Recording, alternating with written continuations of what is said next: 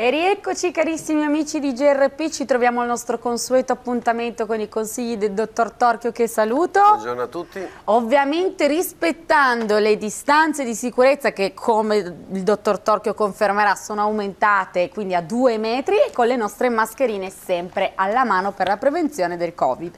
Dunque, dottor Torchio, oggi con lei volevo parlare sì della situazione Covid, ma in particolare del caso del vaccino AstraZeneca, perché l'EMA ha fatto ripartire le vaccinazioni appunto marchiate AstraZeneca. Ma quindi le volevo chiedere che cosa è successo con questo vaccino, perché a quanto pare ci sono stati dei presunti decessi e quindi volevo chiederle la causa e soprattutto anche un po' di rassicurare a casa, se fosse possibile, chi è stato vaccinato deve subire la seconda dose o chi deve essere ancora vaccinato.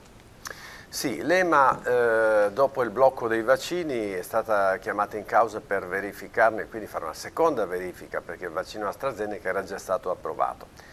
Ci si aspettava dai vaccini Covid magari di avere delle reazioni avverse di tipo allergico come shock anafilattici che tutto sommato sono mh, state relativamente basse. La sorpresa è stata di avere delle reazioni mh, trombo, di, di trombosi mm eh, in particolare eh, caratterizzate da una diminuzione fortissima delle piastrine del sangue e poi delle tromboembolie, in particolare in un settore strano del cerebrale, la vena sinusale. Mm. Proprio questa particolarità ha indotto, ha indotto, alcuni paesi, tra cui l'Italia, la Germania, la Francia, a ehm, chiaramente fermare le vaccinazioni per fare una riverifica. La verifica è stata fatta e se posso dire il vaccino è stato nuovamente approvato anche se non è stata chiarita questa problematica. I casi avversi di tromboembolia sono stati 1 su 800 mila, quindi su 10 milioni di, anzi su 20 milioni di vaccini ci sono stati 25 casi di questo tipo. E bisogna dire che la decisione probabilmente è una decisione più eh, generale, politica, di statistica, in quanto viene considerata una percentuale accettabile negli effetti collaterali di un vaccino, ricordando che noi stiamo vivendo questa situazione come se fossimo veramente in tempo di guerra, perché oramai tutti abbiamo capito compresi i negazionisti, che se non ci vacciniamo non riusciamo a uscire da questo incubo, anche perché ogni volta che allentiamo le morse del lockdown e ci liberiamo un pochino, automaticamente e rapidamente con le nuove varianti poi risalgono ancora più rapidamente i contagi. Quindi il vaccino volente o nolente è l'unica strada per uscire da questa situazione, ma noi sappiamo anche per esperienza che, è, che il vaccino comunque ha sempre degli effetti collaterali e può avere degli eventi avversi. Eh, quindi eh, che consigli noi possiamo dare? Esatto. Diciamo, diciamo che eh, intanto uno stop ai vaccini di tre giorni come abbiamo avuto ovviamente ci ha permesso di capire qualcosa in più, però ha anche creato il presupposto di nuovi decessi, che sono tutte le persone che non si sono potute vaccinare, che erano prenotate e che potrebbero contrarre, perché c'è un ritardo nella vaccinazione, potrebbero contrarre il virus e andare incontro quindi alla morte per il Covid.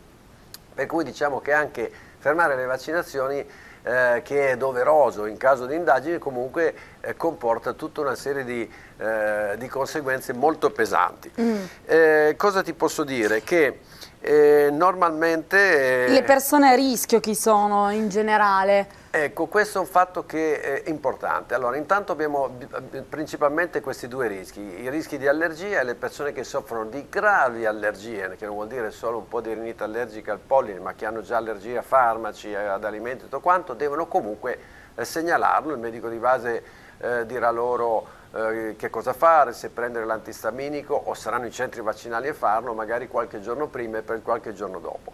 Invece per quello che riguarda la tromboembolia c'è una serie di persone, chiamiamola categoria a rischio, e tra questo purtroppo ci sono anche le donne che eh, per esempio assumono la pillola anticoncezionale, ma perché la trombosi è già un rischio di effetto collaterale della, della, pillola. della pillola anticoncezionale. Quindi le persone che prendono la pillola, che sono tantissime ovviamente, devono dichiararlo e soprattutto è consigliabile fare una serie di esami prima di eh, sottoporsi alla vaccinazione. Innanzitutto il test sierologico per vedere se abbiamo gli anticorpi, perché se noi abbiamo fatto il Covid, abbiamo un quantitativo sufficiente di anticorpi, non c'è urgenza della vaccinazione. È già stato stabilito a livello scientifico che basterebbe una dose per okay. tutti coloro che hanno fatto il Covid e hanno gli anticorpi alti, ma non c'è l'urgenza. Queste persone possono attendere qualche mese, eh, dare la precedenza a tutti coloro che non hanno fatto il Covid nella vaccinazione e nel frattempo in due o tre mesi capiremo qualche cosa di più di queste problematiche. Un'altra situazione da segnalare è proprio la possibilità che ci siano persone predisposte alle trombosi, okay. cosiddetta, la cosiddetta trombofilia. E qui ti posso dire che ci sono dei test che possono essere fatti assieme al test sierologico degli anticorpi, che sono ovviamente il fibrinogeno, i tempi di coagulazione e il dimero, che è molto importante nella, anche nella malattia del Covid e anche l'omocisteina che però può alzarsi nelle persone con carenza di vitamina B12, ma può essere anche un indice di eh, predisposizione alla trombosi.